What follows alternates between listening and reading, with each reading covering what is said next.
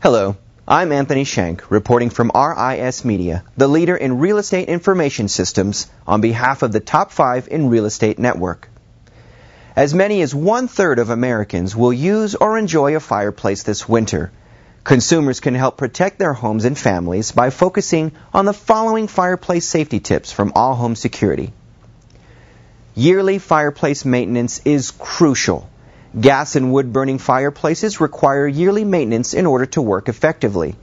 Chimneys should be inspected and cleared each year by a certified specialist.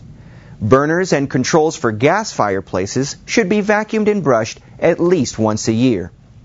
Check smoke and fire alarms often to ensure they are working properly. Keep the fire under control. Small fires produce less smoke and are less likely to become unmanageable. Fireplace covers can also play an important role in preventing catastrophe. Look for tight-fitting screens that prevent embers from escaping the hearth. A hearth should also be kept clear of any debris or flammable items. Monitor carbon monoxide. Carbon monoxide, or CO, is an odorless, colorless, and tasteless poison produced whenever gas, oil, or wood is burned.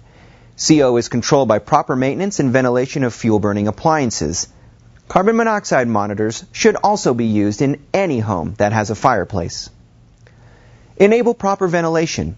Air is vital for fireplaces to function properly and for preventing CO buildup. Never cut off the air supply to the flame. Make sure that necessary vents and dampers are open and don't shut the flue until the fire is almost out. Leaving a window open a few inches can also help circulate fresh air and prevent backdrafts. Burn only approved materials. Hardwood fireplaces should only burn seasoned woods like oak, ash, or maple. Lighter fluids, flammable liquids, cardboard, and trash should never be used to start a fire. Perform outdoor inspections often. A clogged chimney, cracked masonry, or a blocked vent can greatly increase the chance of fire or carbon monoxide poisoning. Periodic outdoor inspections for low-hanging branches or other debris should be performed throughout the winter. And always use caution. Fireplaces should never be left unattended. For more real estate tips and topics, don't miss next week's installment of Top 5's This Week in Real Estate.